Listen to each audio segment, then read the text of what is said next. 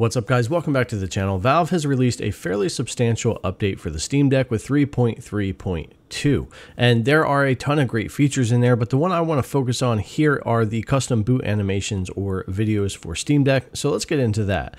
Now of course you do want to make sure you're updated to this newest update so we're going to go over here into our settings and system and you'll see 3.3.2 right here.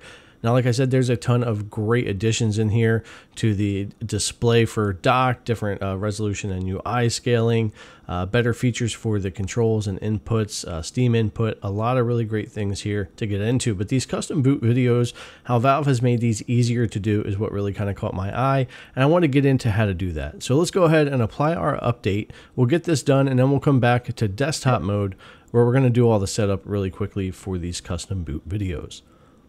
Now we're updated and here on our desktop mode for our Steam Deck. What I want to show you here is I'll go into my Dolphin file manager and you can see in my downloads I already have some WebM files here. That you do need to use these WEBM or WebM files for your custom boot videos or animations and they will be need to be renamed uh, deck underscore startup which I'll show you later on as well. So let's close out of this and let's get into what you need to do to set this up. Now you do need to be able to see hidden folders here. So what you need to do is click on your settings up here and click show hidden folders. You can see how mine have disappeared. I'll click here and they come back.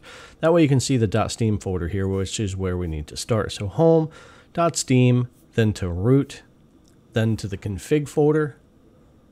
And in here, you'll see we don't have any UI overrides folder. So we need to create two folders. We're going to create a folder in config here. So we're going to click create new folder and we're going to name this UI overrides all lowercase. You do need to be all lowercase here. So once we create this folder, we'll click OK. Now inside of UI overrides, we're going to need to create our second folder. So create new folder and we're going to name this one movies. Again, all lowercase. So we'll create that. Now, once we're inside movies, this is where we're going to put our WebM files for our custom boot animations or videos. So let me go ahead and start a new instance here and go grab one. I think I'll use the Cyberpunk one here for a demo, and we'll also probably check out the one I made for GTP. So we'll go ahead and copy this, and I'll go ahead and paste this over in our newly made movies folder. There we go.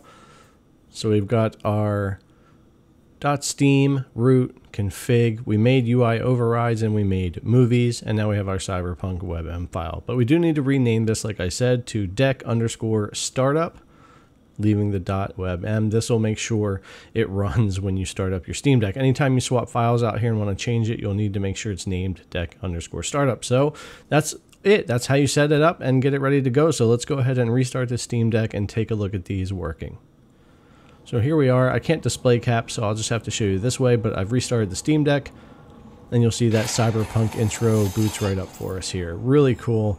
Almost endless possibilities what you could do or what you could make on your own. The community's making a lot of these as well. You can go out there and find a ton to download already.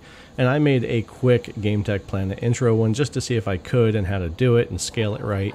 And uh, made that in just a couple of minutes. So very easy to do and uh, a lot of fun to mess with. So Anyways, I hope this video helps you guys out if you're trying to do custom boot uh, videos or animations. It's pretty easy, pretty simple to do, only takes a few minutes and works pretty well. Anyways, guys, thanks a lot for coming to check out the video. As always, I really appreciate it. If you haven't already, subscribe, thumbs up, ring the bell, leave me your comment down below, and I'll see you in the next one.